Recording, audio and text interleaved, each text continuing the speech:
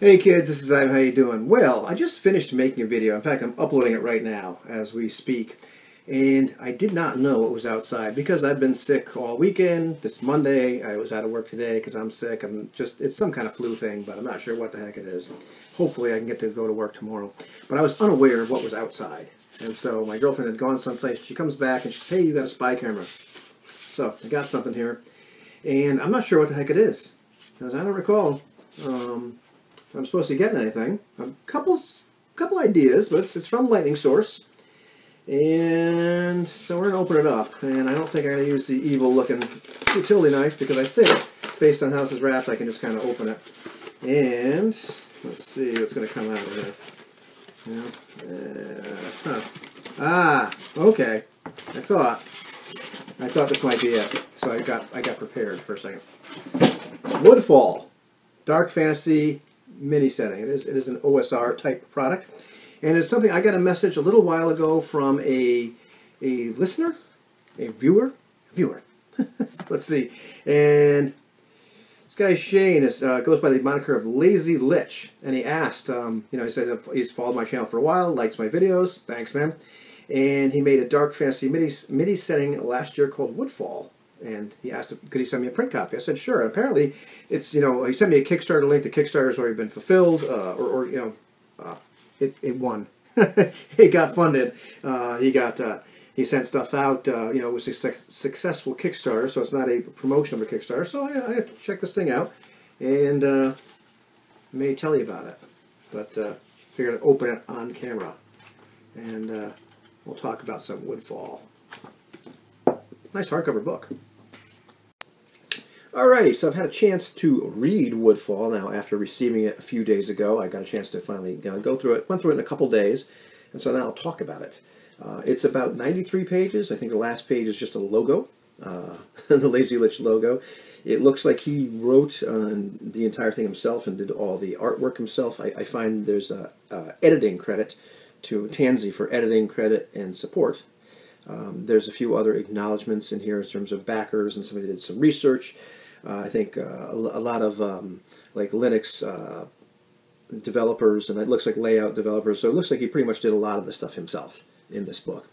Um, and you know, for for self-done project, it's pretty darn good. Like I, I, couldn't find. I think I found two instances of. It, he looks like he used the alternate version of a word with a, a, different spelling rather than the one that was intended, as far as I could tell. The way it read, I'm like, hmm, it's probably probably he might meant to use the other word.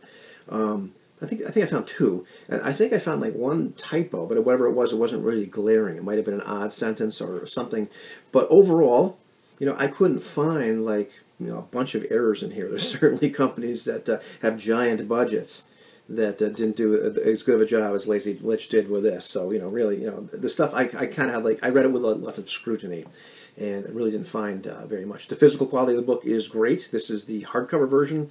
Uh, I think it's available on DriveThru. I went and looked, and so you can buy just the PDF or the hardcover book or the softcover book, or I think it comes bundled with the PDF uh, as far as uh, that's concerned. Um, and then the book goes on, and it's it's it's billed as a dark fantasy mini setting. I'm going to uh, argue with that a little bit, or give you a different take. And it, it's it's a mini setting. It's a fantasy mini setting. I'm going to to me, it's more of a high fantasy mini setting with a, a certain type of flavor with some kind of dark around the edges. And he, he tells you in this book, too, take take whatever you want out of this book, change it, you know, uh, discard it, put your own thing in here, put your own spin on it. You're going to have to put a lot of your own spin on this because it is meant to be system neutral. So there's not a lot of mechanics in here. There's a lot of um, things that you're going to need to fill in all the blanks, which is not a bad thing. In, in, many ways, it reminds me of some of the Judges Guild modules I had back in the day, which I wish I still had. This this gives you a little more information sometimes. Um, but it, it's very system neutral. It's very open ended. It's there's a lot of things where you're going to breathe some life mechanically into what's going on here, which is not a bad thing because this is a book of a lot of inspiration. So it, it, um, it like you said, it's meant to be kind of dropped into your own fantasy setting, or it can be one on its own. But it's a miniature setting. It's it's the village of Woodfall. It's the surrounding countryside, which is really kind of this very inhospitable forest and swamp, and then it's ties to a local kingdom, which is really kind of left up to you, like what this local kingdom is. And the idea that the local kingdom, these people are existing like in opposition to the local kingdom. They are outlaws. The, the village of Woodfall is, um, they are persona non grata. they, they're bad people. But they're not really bad people. The king just doesn't like him. He's wanted to uh, evict them from the land, to get rid of them. And there's a struggle going on with that. So it's a uh, it's a sandbox. It's a hex crawl, if you will. Even you know, there's a great table of contents here because there's a lot of information in this book. It gives you a, a, nice little hex map with all kinds of symbols, and, and there's various factions and clans and uh, things in the swamp, and there's some random uh, random encounter tables. And this book is full of random encounter tables, or random charts, I should say. Uh, he gives you this kind of um, kind of like uh, philosophy about like how the game is, is supposed to be run or how he, he uh, suggests it's run. And then it goes, you know, head on to all sorts of stuff that's going on in this setting. Lots and lots of uh, lots and lots of tables, lots and lots of information. Uh, he's got art throughout the book, and there's not tons and tons of art, but the art sometimes flavorful, but very often it's very useful because it conveys information that's not in the text. Because there's, you know, the book is pretty jam packed and I think the page count would be a lot higher if he tried to convey some of this information he conveyed through the art in the text. So it's actually kind of a useful, um, uh, useful use of, of art. Um, and I, I, love this one thing. He's got a he's got a rumor table about Woodfall, and it's the typical rumor table where things are true or false.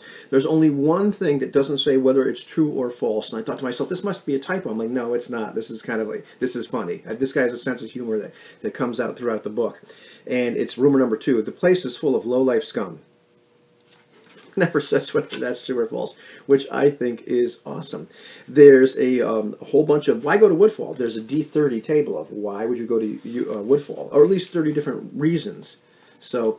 Um, once again, you know, what happens in this book over and over again is it's a bunch of inspiration, it's a bunch of hooks, it's a bunch of ideas, it's a bunch of seeds. So it tells you about the history of Woodfall, it gives you a little map of the town itself in some kind of detail uh, gives you a history of Woodfall Village and the surrounding um, area. It gives you this uh, look into the economy itself it talks about the legal system of Woodfall. And this is really kind of an interesting thing. Um, there, were, there were different parts of this book that I was reading. I'm thinking, you know, I'm not sure if I'm really going to like this. But the more I read it, the more it grew on me because I started to understand the conceits of this game and I stopped trying to shoehorn it into something that I would necessarily run or would be my first uh, inclination to run. Because I was thinking of dark fantasy. I'm thinking Lamentations of the Flame Princess.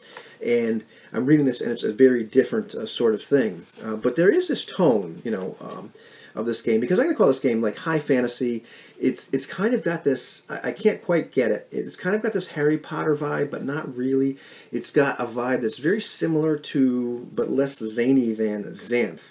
And that was my guilty pleasure years and years ago. Not, i can't remember how many decades. Was it 30 years ago? Piers Anthony was writing those books. Uh, you know, it's got sort of that feel to it. Um, it's got it's a very self-contained um, kind of uh, fantasy um, vibe to it. I mean, he says you can drop into your own fantasy world, and I understand that, that that's possible. However, I think that it probably works better as a self-contained sort of campaign because there are a lot of conceits that are very, um, they're a little unique. And there's something I think you kind of spoil the vibe of Woodfall if you start to mess with that too much and try to shoehorn it into a more um, standard fantasy campaign and what have you. But there's a legal system, and it's pretty interesting because there's there's something about Woodfall itself. Uh, it, it's a commune. It's a little socialistic.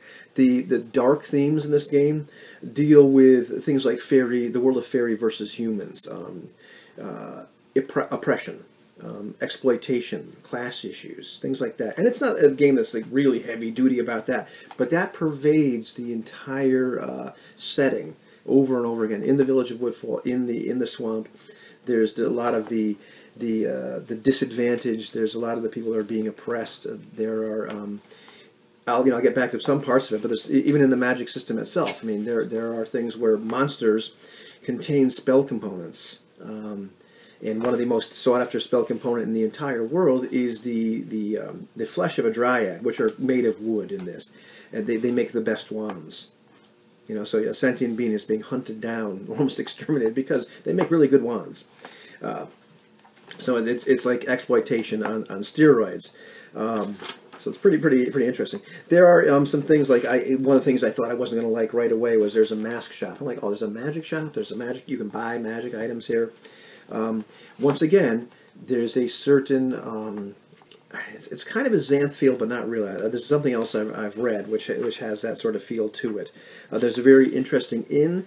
It has great rumor tables. It has great um, uh, NPCs. You know, one of the things he's done inn this game as well is there are some very fleshed out NPCs, and not like super fleshed out. You know, they don't say too much about each NPC, but it tells you what they want, what they fear, the plot hooks around them. Um, these are like the, the crooked in regulars, and there's not too many of them. Later on, you find uh, non-player characters and other people that might be wandering around in the swamp area, in the forest, and it lets you know just a little thing about them that gives you this this kind of hook or this inspiration like what kind of person are they? Are they deluded? You know what's been going on with them for for a long period of time? Do they have something really odd really unusual? That sort of thing. There's there's plenty of like just you know little little bits of inspiration. Do they have stats? No. They might he might tell you what their class is sort of or what their profession is. You have to fill in the rest so there's lots of gossip, lots of rumors, lots of ways to get you out uh, someplace else or to give you information there is a, uh, a system of ravens, you know, which which uh, transmit messages throughout the throughout the kingdom, which is kind of kind of fun, just how that works. a lot of the game deals with necromancy, and not in the really bad, icky way. But there's a whole system of necromancy that exists in the kingdom or in the town of Woodfall, um, and just how the game handles necromancy itself is really, really interesting. Uh, so I do like that. Uh, once again, we find some um, some fairies, some hirelings. Um, there's this great NPC lists uh, that he has here. Um, some of the NPCs, some of the some of the um, the um, information he gives you about the factions and the, the, the leaders, the important people in the uh, the various clans or factions in the swamp and in Darkwood, the surrounding area. He conveys this information through the pictures of the NPCs. So he doesn't give you a description of the NPC. There's a drawing of the NPC. Doesn't give you a description of these monsters. There's drawings of the monsters and of the uh, the main um, movers and shakers in these factions. And it doesn't tell you anything about them. This guy looks like he might be a vampire. Vampire? Is he a vampire? I'm not really sure. He's got one. He's got an eye patch. This monster looks really bizarre. Um, and once again, he tells you change whatever you want, but it, it just gives you this bit of information and you are once again it's kind of this little bit of inspiration rather than writing this paragraph about what the person looks like he, she gives you a little picture and you know i'm not always up for art telling me what's what's going on but i kind of like this um, he's got this great faction chart here which I, that's one of the only things I wish is he actually uses the symbols for each faction, and I wish he'd actually put the name of the faction uh, in there as well because it's tough to you have to kind of flip back and forth to figure okay what does this symbol mean, um, and if you go by the top you read down and it tells you what this faction thinks or, or what their concern is with each other faction in the swamp. So it gives you this relationship map. There's also a, a sample relationship map on uh, one of the pages. So when you when you can take five NPCs, you pick them out, you create your own, you can put each one in the circle, and it kind of gives you this, uh, a bunch of arrows going back and forth and tells you well who's having a secret affair with who and who works with who and which ones aren't speaking, which ones betrayed whomever. And you can, you know, it's kind of this inspiration once again to make up another relationship chart for a bunch of other NPCs. But it, it's this quick and down and dirty way of kind of creating um, uh, bonds and uh, um, what have you between all the people. So I, I, like that. You know, once again, just every page has something really cool on it. Uh, then there's there's various factions in here. There's there's the Hermit Druid. There's um, bizarre uh, group of goblins, bizarre groups of frogmen, the Revolutionary Corpse, uh, Corpse Council. There's you know these these various monsters and what have you that, that exist in there. Um, he also gives you um, you know a bunch of a list of unique or monsters that are kind of uh, unique to this setting, uh, including one of my favorites, which I had to actually text Eric and said, "Did you uh, did you see this?" And I'm not sure if I can find this one here. I guess bloat zombies. And if this isn't the tip of the tip of the hat to Eric Bloat, I'm not sure what is, but uh, that was pretty awesome. But there's there's unique monsters uh, to the setting, unique plants, um, unique magics uh, um, item components, a lot of interesting treasure. There's a lot of interesting odd items you can find in the um, area, which you're not really sure what, is, what does this really mean. Some of them seem to be very significant based on other things that are uh, stated in the book, but it's not 100% sure if, that, that's you know really really um, true. It's stuff that will can make the players think, can give you some inspiration. There's even an Appendix N, suggested reading, which I thought was pretty cool. And there are there are timelines. Um, they're event uh, ideas, but there are timelines for, for various of the um, the factions and groups in this area um, because it's it's a dynamic setting, which I, I really appreciated. Sometimes it, he even has things where the first time you visit these people, this will happen. The second time you visit, this is what's been going on. The third time, this is going to be going on. And so there's lots of um, information here about what's going to go on over time, unless the adventurers do something to stop it, thwart it, you know, get involved. There's even things in here, I know I'm making the video longer than I wanted to, but oh well. There's stuff in here where it, it says, okay, if you want to join this group, and there's several groups that it says, if you want to join this group, this is what you have to do to join this group. And this is what will happen. And this is going to be, you know, the uh, uh expectations put upon you. So it, once again, it is a very, very open, do what you want uh, sort of thing. It's set up as a sandbox. Um, so I do like that. It is is definitely something that you know, like I said, it's it's very high fantasy. It's it's it's got a certain flavor to it. There are basic conceits here. It has its own, not magic system, but th- there are things that you know their wands have components and you put various components together you will make a wand that does this. There there are cores in many monsters which have powers which you want because you can make use them to do things.